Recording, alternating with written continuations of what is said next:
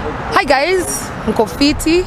First of all, congratulations on the good job you guys are doing. Nyi wase mna show by the the real digital revolution is right here. So, as many of you know, it has been speculated through the week. Today was my last show at Kiss FM. I've been there almost four years, but uh, it came to an end today. I did my final show with Obinna after going through three co-hosts, and uh, it's been a journey. It really has been a journey, and kuna vitu mob come. So I don't want people to think that ati it's the last you'll hear of Kamene or last you'll see of Kamene. If anything, on Monday you will definitely hear something from me. I know there are a lot of questions, which is why I invited Robina and everyone invited you guys here. So we'll take a couple of questions so that we can also set the record straight on a couple of things.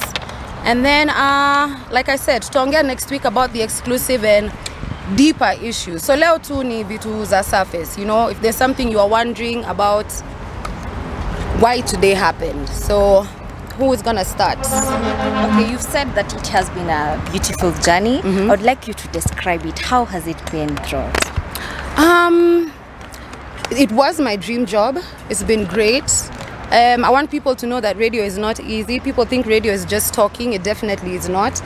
Uh, I've grown a lot, you know.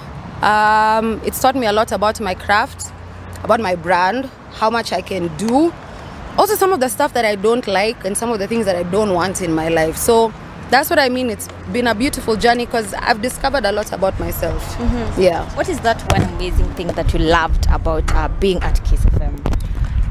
it definitely has to be talking to the people in the morning you know it's um it's amazing to interact with millions of kenyans to get into their homes as they're heading to work you know as they're moving through their day. It's an amazing thing to wake up with kenyans. Kenyans are amazing. Mm-hmm. So i think that has been the most remarkable part of you know being on the morning kiss. Mm-hmm. Yeah. Okay, of course, in every beautiful journey, sometimes there are challenges. What are mm. some of the challenges that you've faced throughout the journey? Um, I think it was also moving from moving into mainstream media and also perfecting the craft. It takes a lot of work, guys. You know, it's not that you just go on air at six.